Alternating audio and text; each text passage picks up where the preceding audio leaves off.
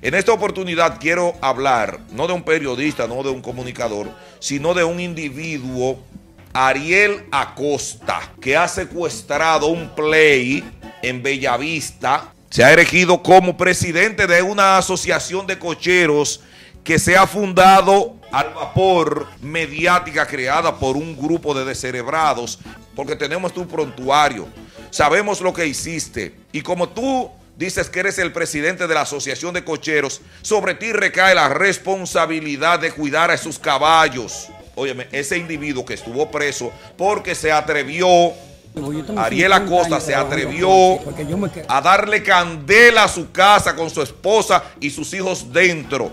Y por esa acción guardó prisión en el año 1997. La sociedad de Santiago lo sabe.